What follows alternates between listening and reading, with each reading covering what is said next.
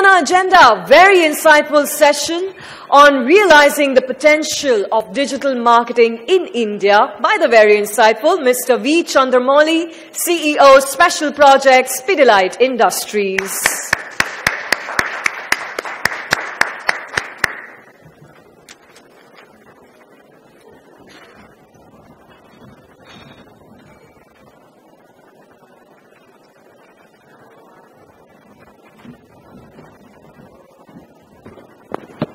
Good evening, everybody. You know, normally when you're doing a session in the afternoon, you say, I'm keeping you between me and I'm between you and lunch. In this case, I recognize I'm between you and beer and wine. And that's even more challenging than, uh, you know, between food. But let's hope for the next 20, 30 minutes you get something out of it and we get to have an interaction uh, on this topic. I, have been thinking about this question, and the, the, previous panel was exactly that to say if the eyeballs are there, then why is the money not there? Yeah, and I think it's a very, very important question.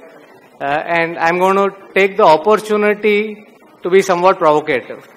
Uh, I think it's very easy in this bandwagon to say digital is a given, it's a future, nothing can stop it, the money is going to come, and a whole host of things. And I believe in all of that. I believe in all of that. But I don't believe it will happen if we don't do some fundamental things to accelerate the pace at which the digital marketing business grows. Yeah? And I think it's important for me to present that mirror to you. So please allow me the uh, latitude to be a little provocative. I'm doing it with a good intent of wanting to grow your business. Many of you are digital marketeers. Many of my friends from the consumer industry are here. And I do want to take the opportunity to present the mirror. I think this is the stuff that you hear all the time, right? The stuff that you hear is digital is everywhere. The consumers are on digital and there is tremendous amount of time and engagement that consumers have in digital. This is the common story that you hear on why digital marketing must be the most important marketing that you do. And I completely buy all this. This is the facts, right?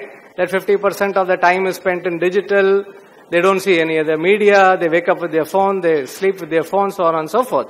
Yeah. And digital possibly reaches 95% of all consumption in India. So if you take the consumers who are on digital, they possibly account for 95% of all consumption. So logically, if you got your digital marketing act right, there is no other marketing that you need to do right? The only marketing that you need to do is digital marketing if you got it right. Yeah. So if nine, if a huge 800, 900 million consumers are there, 95% of consumption is there, why is it that it's still 10% of marketing and today I learned that it's now 15% of marketing, so my apologies. I'm a little consumer industry oriented. Um, but so this is, I think, a very fundamental question. To say I represent the consumers of 95% of consumption, but I account for 10 or 15% of marketing. And there is obviously an extraordinary gap. And this extraordinary gap is not going to go away just because the consumers are there. Yeah, and it, and the industry needs to do something actively to make it go away. And I just want to talk to you on some of the barriers uh, which, which might be existing. You know, if we simply go by the number of consumers and the reach and the time spent, and if those were the variables based on which marketeers made decisions to say how many consumers are there and how much time are they spending there, what do you think should be the number one advertising media in Bombay? Anybody wants to kind of put up their hands? The local train, by that logic, should be the number one advertising media of Bombay. Yeah? If you went by the number of consumers, which is in tens of millions, and they spend about two hours a day and there is nothing else they are able to do when they are there. Right? So if we simply went by saying millions of eyeballs and amount of time spent there, then the number one advertising medium in Bombay historically should have been the local train. But it didn't happen. Yeah? So if we, if we are in this mindset of saying we have the eyeballs and we have the time, then we could end up being like the local train, which never monetized the eyeballs and the time right? So how do we kind of understand that it is not just about eyeballs and the time, but it is also about what else you do. And if we ask this question, why is Mumbai Trains not the number one media in, in Bombay? I think there are two kind of broad answers we would all give. The first of the broad answer we would give is that I'm not sure of effectiveness of my advertising in that medium. I'm not sure that if I put in marketing out there and advertising out there, it will be very effective. So I know the consumer is there, I know the consumer spends time, but I'm not sure of effectiveness of my marketing in that medium. And the second, it's not easy for me to do marketing in that medium. It is too complex and too challenging and there is processes, bureaucracy, so on and so forth. Yeah. I think the same two questions is what we got to ask as a digital marketing ecosystem and say, how do we solve these two issues? And hence the two pieces I would ask each one of you to think about, both as a digital marketing ecosystem and as clients, is we got to solve for the marketing suitability of digital and we got to solve for, sorry, I seem to, the marketeer suitability of digital. Yeah. And if you really want to plug the gap between 15% and 95%, then we got to become more marketing suitable and we got to become more marketeer suitable. And both these are opportunities to improve. And I do want to spend a little bit of time on each of these to say what, what, what is my thoughts on it. I'm not going to give you all the answers. You guys are going to solve the answers uh, over time. But I do want to kind of just put uh, some questions and thoughts. I think the marketing suitability, I think there are two challenges on marketing suitability that we have to solve for. The eyeballs are there, but are those eyeballs willing to consume marketing in that medium is still a very unsure, unanswered question. Yeah? So there could be two platforms, both could have 100 eyeballs, but in one platform, for whatever reason, 95 of those 100 eyeballs are willing to consume marketing. And in the other platform, 5 out of those 100 eyeballs are willing to consume marketing. Now measured by eyeballs, both are the same. But measured by the willingness to consume marketing, both are not the same. Yeah?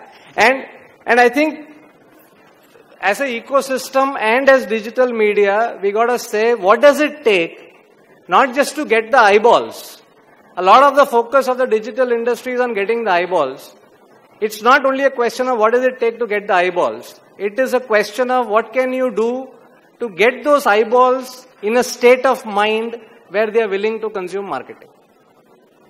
Otherwise, we could be the local train, right? So that is, I think, one kind of core question to uh, solve for in terms of marketing suitability. I think the second question to solve for in marketing suitability is really the ability to deliver a time-bound impact and not just impact the consumer but impact the ecosystem. Right? Now, a lot of marketing budgets are actually time bound. So if you take, for example, a new product launch. Now a marketing of a new product launch has to work in a 45 day cycle. It has to be highly predictable, highly reliable. It cannot be maybe it will go viral, maybe it will work because the whole sequence of trial, repeat, distribution, everything will get disturbed if I don't have time bound impact. A lot of the marketing mon money in India and marketing budgets in India is on festive occasions. Diwali is 25% of all marketing. Now, if your marketing doesn't work in the 30 day period before Diwali, then that budget is not of any value, right? And so on and so forth. There are infinite other occasions. A lot of marketing budget in India is actually very time bound, based on festives, based on promotions, based on new products, so on and so forth. Yeah? And time bound marketing requires reliable effectiveness. To say if I do this, I get this response. Yeah? Time bound marketing cannot be a game of hope. To say I, I do this and maybe I will get an explosive response, maybe I'll get a poor response. Yeah? So how do we also create the digital marketing ecosystem where there is a degree of reliability to say if I do this, this happens, how do we create that? Right? Is, is a question which is still a open question and it is very much a dimension of marketing suitability that we need to consider. The second question is influencing the ecosystem. And again, let me go to the new product launch. The job of advertising is not just the consumer, but it is when, when my sales force goes to the retailer and they say, here is a new product, keep it. One of the biggest drivers of that person keeping it is to say, TV mein ad aayega kya? Now suppose you say, yaar TV mein ad nahi aayega, digital mein ad aayega. I don't know. Right now, my, and my sense and the sense of many marketeers is that that retailer will say, ठीक है मैं नहीं रख रहा हूं आपका demand आएगा फिर मैं रखूंगा right Now, eh, hence it's not only enough to be effective with the consumer. It's also important that there is effectiveness in the ecosystem of distribution, distributors, influencers, users, whatever you want to call it, right? So, for example, in a Pidilite, a carpenter is a super important entity. Now, my advertising might be very effective in digital with the consumer. But if it is not effective with the carpenter, then do I do separate marketing? So those are, I think, the other kind of questions that one needs to solve for. I think the other question, so one is marketing suitability. I think the other one is really marketeer suitability. And by marketeer, I'm using the lexicon of marketing organizations, clients. So it's not just the individual, it's a slightly wider uh, space of marketeers. And I think there are two issues to solve for. And this is an issue that both the digital marketing ecosystem has to solve and the marketeers have to solve. The first is the marketeer organization structure today is not suitable for digital marketing. Yeah. The marketeer organization systems are very lean and they've been designed for a few creatives, high spend per creative. That is what the marketeer organization is designed for.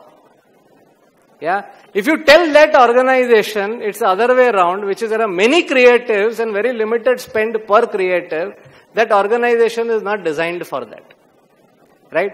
And one of my understandings of digital is there's no shortage of money to spend on digital. All, all my life, I've told my team, carte blanche, spend as much as you want.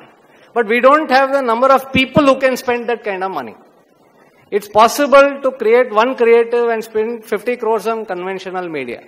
But if I have to spend 50 crores on digital, then I need 10x the number of people to be able to manage the same process. Yeah. So the marketeer structure today is oriented for few creatives, high spend per creator. And I don't see this changing in a hurry because there's tremendous cost pressure on marketeers. People are not going to change headcount overnight. Yeah. But I would still urge marketeers to think differently about your org structure in a, in a um, in a digital era. And the second thing about the marketeer structure, the marketeer structure is not designed for coordination. It is designed for strategy and brand management. Now, in the earlier ecosystem, the coordination was actually done by the so-called agency. Right? There was one agency which did coordination. Right? In the digital era, the person who makes a video is different from the person who does media buying, is the person who is different from the search engine optimization is the person is different from the social media system, right? Now, the suddenly the coordination onus has shifted from an agency to a marketer.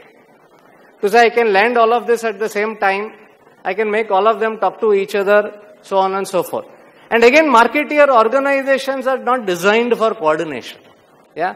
So fundamentally, one of the issues why digital is not exploding is marketeer organization is not designed for this. Yeah.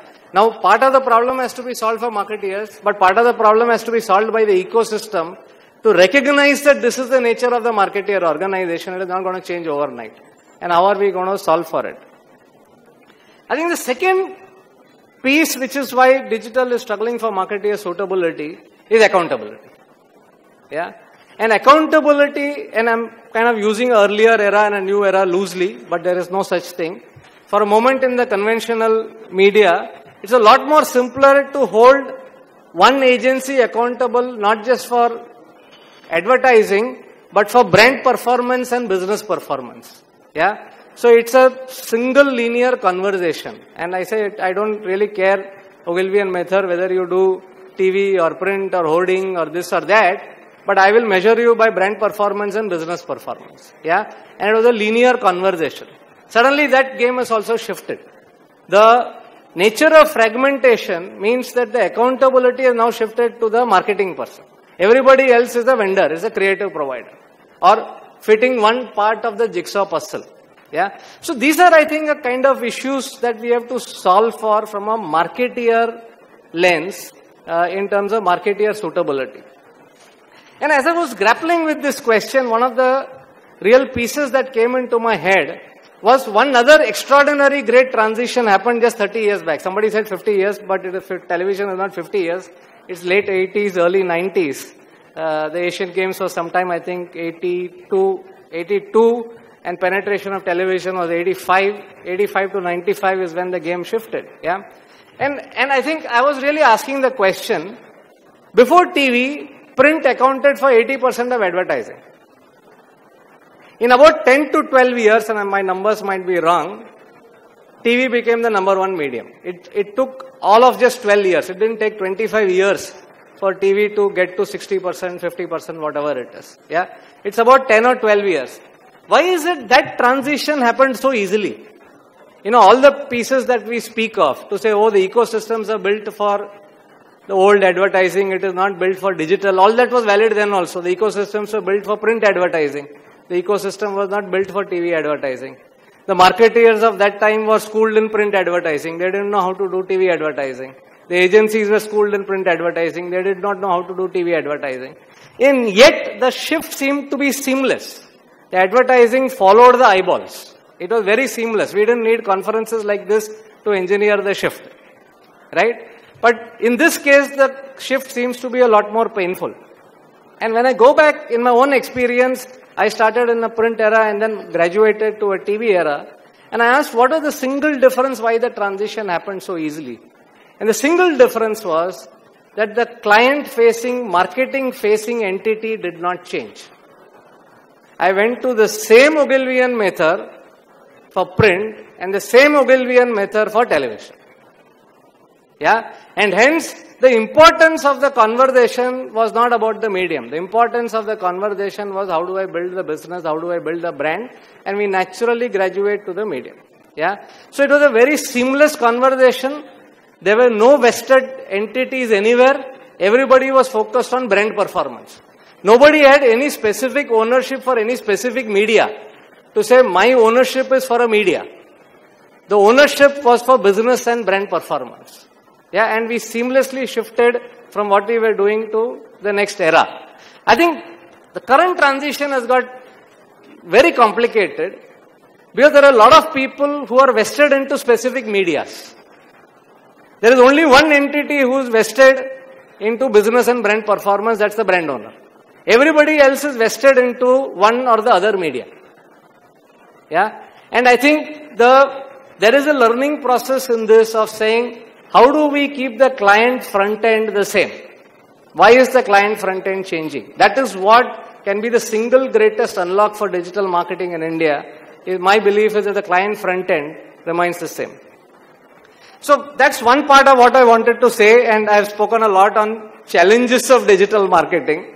Now let me do the evangelization of digital marketing as well. Yeah. Uh, and I will do this evangelization from a deeply personal experience I'm going through right now. Yeah. And I'm saying, by God, if digital marketing didn't exist, then I wouldn't be able to do what I'm doing right now. Yeah. So deeply personal, positive experience on digital marketing as well. Right. And I'm, I'm just launching in the middle of launching my book. Uh, it's called The Catalyst. It's just on pre-order. Uh, and it's going to be launched in the first week of February. And really, if there was no digital marketing, then I wouldn't be able to launch a book. Yeah, it's the simplicity of the reality of where it is. So I want to evangelize through this case study how digital marketing is working. And hence then find how do we converge? How do we solve for uh, this game? Yeah.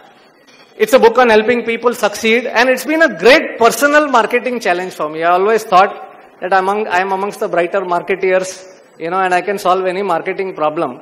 But then I realized as I was trying to market my book that two fundamental factors have changed. All my life I have done marketing with huge budgets. This is the first time I'm doing marketing with a few lakh of rupees, which is my own by the way, which is not even a company budget. So there's a phenomenal difference in being a good marketeer with money and a good marketer with no money. The second challenge is all my life I've done good marketing on good brands. So I always had the asset called a brand and all I needed was marketing skills to leverage that brand. This is the first time where I have a great product but I know I don't have a brand which is equal to the product. Yeah. So two very fundamental challenges and it has challenged me as a marketer to say how do I bring my marketing skills to be able to solve this problem. Yeah. And I mean I'm not going to go through the strategy uh, but as a good marketer I put down some starting points to say what is it that I have, what are the strengths that I have that I can put into play in this marketing game. And amongst, as I started, the realization started after a long time I opened my social media. I mean, I wasn't a regular on social media till, till about three, four months back. I opened, I found about thousand unaccepted invites in, in a few forums and so on and so forth. I quickly cleaned that up. So I ent entered with a, some amount of social media assets it's not big by any imagination, but that's what I had. I had about, you know, 6,000 people all told following me on social media. I had done a series of sessions over time in 17 companies on, on the content and the mission. This book is a mission for me. It's not a commercial transaction. It's a mission of helping people succeed.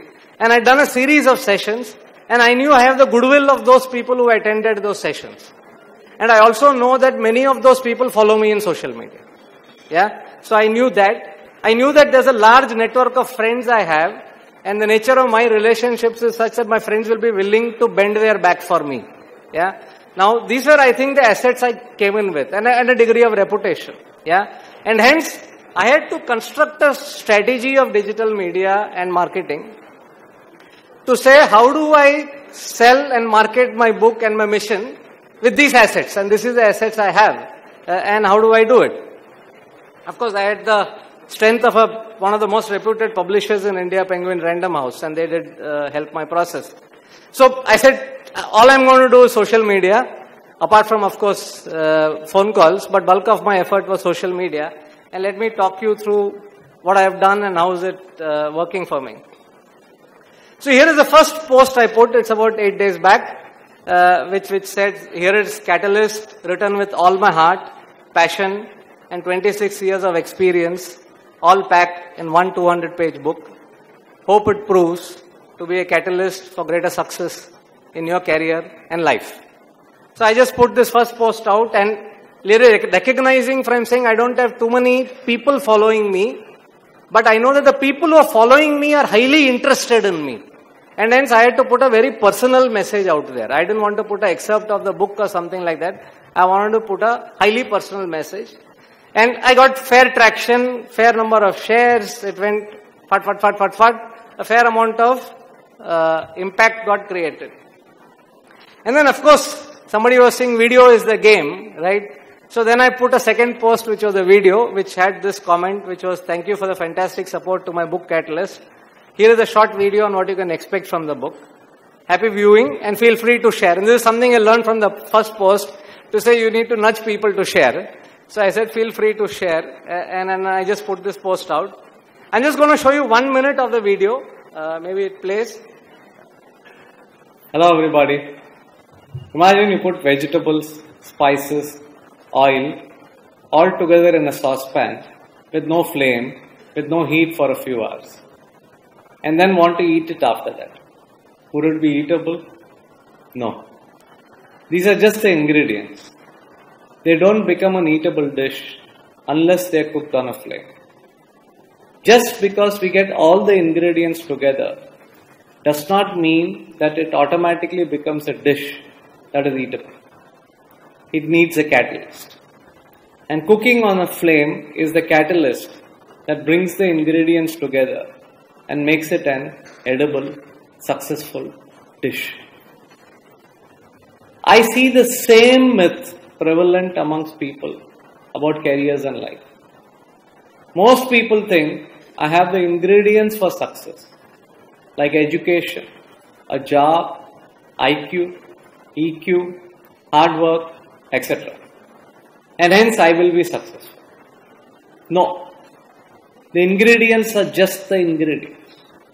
Without bringing in the catalyst, these ingredients won't convert to success automatically. Which then brings us to the question what are the catalysts that are required to be successful? That is what I try to answer in the book titled Catalyst. Thank you. So, so of course I broke one of the biggest norms of uh, videos, which is my, my social media advisors told me it can't be more than a minute. I put a four minute video, and I'll explain why. Uh, uh so we'll talk about it. But this one just exploded, right? I got about 5,400 views of the video on two days in Facebook, and I got 12,000 views of the video on two days in LinkedIn. Yeah, no promotion, no money, it's just organic, and people were just sharing and letting it go. And of course, the results. So it does move stock off the shelf. Whoever are the global, uh, the marketeers for six days in a row amongst all the pre-order books, my book was the number one in Amazon for six days in a row. Yeah. So thanks to just two posts in digital marketing and social media, one the previous post which was an announcer and one which was a video which explained the book, I created tremendous results. Yeah. So it tells me that this medium is hyper powerful. Yeah, it tells me that this medium is hyper powerful. I'm going through a deeply personal experience on leveraging this medium for success. The next steps that I am focusing on is there's a lot of crowdsourcing. I'm kind of turning it around to crowd supporting to say I'm never going to have a sales and a marketing team for the book, but I need sales and marketing people. So I'm actually recruiting a set of volunteers through social media and I know there are a lot of committed people out there who want to help me succeed and who want to help the message in the book because they've experienced the message in the book. The book has been something that a lot of people have experienced outside the book in other sessions and other formats. And I'm actually running a process of recruiting people through social media to help me market the book and I'm getting great success. I'm thinking through how to leverage influencers uh, and, and I have a set of influencers who will be willing to help me how to do that. And lastly, community building. To say, this is not about marketing a book. This is about helping people succeed. That's the mission of my book. Yeah. And how do I create a community where people can be continuously engaged on their mission to succeed? Yeah. So that's really the steps I am thinking through. And in this deeply personal journey, the, the key insights for me, firstly is digital marketing and social media is hyper powerful. And I think what it does is it democratizes marketing.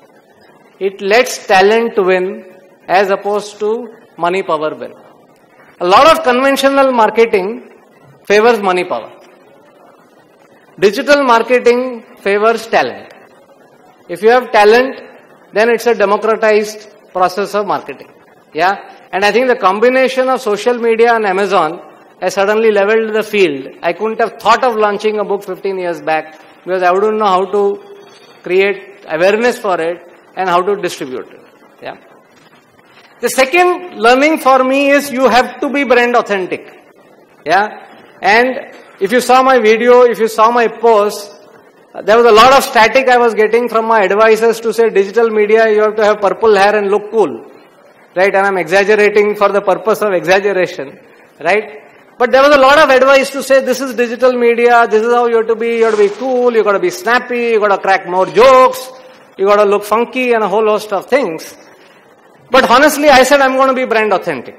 This is what I am, right? This is how people know me, this is how they'll see me, right? And I think somewhere digital media kind of confuses the fact that it's a medium and it's not the message, right? And as marketeers and as uh, brand owners and as digital ecosystem, we got to separate the two. We got to say the message is different from the medium.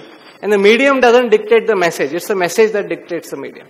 Yeah. So that's the other kind of learning for me. The third, of course, learning is digital marketing and social media is exhausting. Exhausting. Right? Because in the past, I would put out an ad, put it out on TV, and there was no pressure on me to respond to every comment that came. Somebody asked a question, somebody did this, somebody did that. And I put these posts out, and I possibly spent 48 to 50 hours responding to every comment, every question that comes. And I mean, it's rude if you don't do it. And it's exhausting. Yeah? I mean, I know I'm doing, I'm doing it for a few days. As a, as I joke, I have two jobs, one job from 10 to 7, the other job from 7 to 10 in the last, uh, you know, week or so, but it is exhausting. So I think there is a question I'm asking myself to say, this is how I'm going to market. How do I make it sustainable? Yeah? And, and how do I make it feasible for me to do it? I can, I cannot keep up this intensity uh, uh, for, a, for a sustainable period. So those are, I think, three kind of deeply personal learnings for me in social media. So I want to summarize uh, uh, by saying, firstly, eyeballs, reach, viewership, time, these are necessary, not sufficient. And if as an ecosystem we sit on our haunches thinking we have these and the money will flow, then it might flow a lot slower than you think it will. Yeah? And to make it flow faster, you gotta do two things. You gotta say, I'm gonna make my medium more marketing suitable. And you gotta say, I'm gonna make my medium more marketeer suitable. Yeah? And these are two very important inflections which will accelerate the pace of conversion. There is conversion, but the pace is slow. You do these two things, you will accelerate the pace of conversion. And from my deeply personal experience of having benefited from social media and marketing, I would say we have to leverage the democratization of marketing. And one of my pushes to us as individuals and to clients, and I've been a client many times, if I have 10 brands, I have budget only for 3 brands. Yeah, and hence I don't promote brand 7, 8, 9, 10 at all. But I think with this experience now I am a lot more convinced that in some cases I want the money. But I, all I need is two intelligent people thinking the hell out of how do I do digital marketing for the brands I don't have money on. Yeah, because digital marketing can support democratization of marketing. Yeah, and the last message for me is be brand authentic. The medium cannot change the message. You must be brand authentic. Yeah. Thank you and all the best in building a $5 billion business. Thank you, Mr. Chandramouli, for sharing your very personal story that helps us realize the potential of digital marketing. Please stay back with me as I'd like to invite on stage Mr. Munish Atre, National Sales Head, ABP News Network, sir, to kindly present a token of our gratitude to Mr. Chandramouli.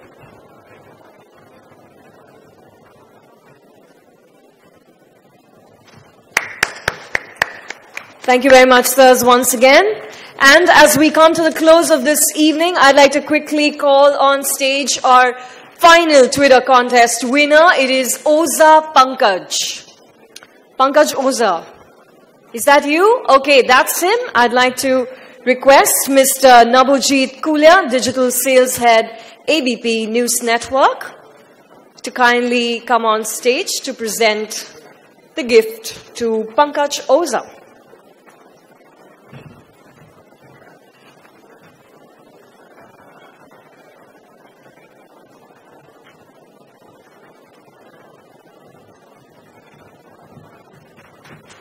Congratulations, Pankaj. The answer to this question was live TV. Good job. Thank you. Okay, ladies and gentlemen, we come to the end of all our sessions, but before we leave, I'd like to thank our presenting partner, Sony Live. We live to entertain, co-powered by partners ABP Live, Keeps You Ahead, and Google. Our co-gold partners, MTV and HT Digital, and our associate partners, Firstpost, News 18 Hindi, Satik Sabse Tez Bhi.